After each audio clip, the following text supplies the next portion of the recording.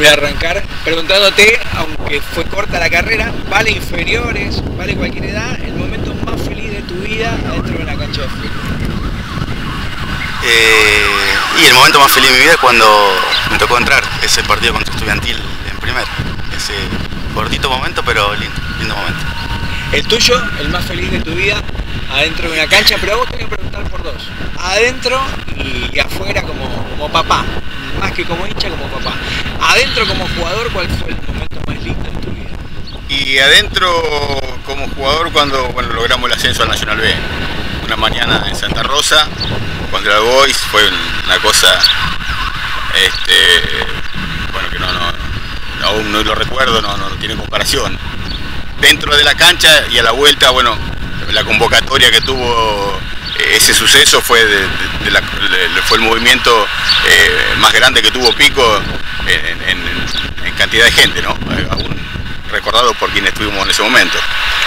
Y fuera de, lo mío y en la, familia, bueno, ver que, que los chicos, o sea, cuando Fede debutó en primera división, cuando Agustín jugó, debutó en primera división, y cuando Julián debutó en primera división. Casi veía, parte mía eh, en ellos ahí en, ese momento.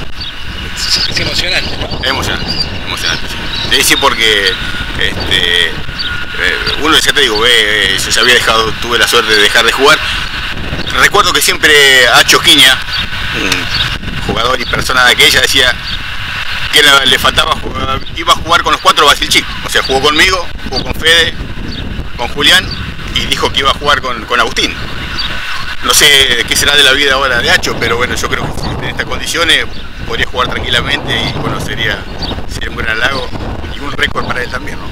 El más lindo tuyo adentro de una cancha, vale cualquier categoría, cualquier edad, vale, vale lo que quieras. Mi momento más feliz cuando pude jugar en primera contra Independiente y también cuando debuté en la sub-20 contra Costa.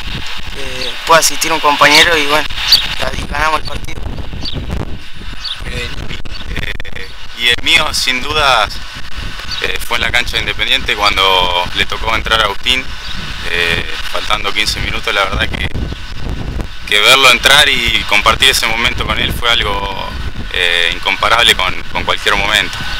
Y después, dentro de una cancha, soy feliz cada vez que meto un gol y, y bueno, más a costa.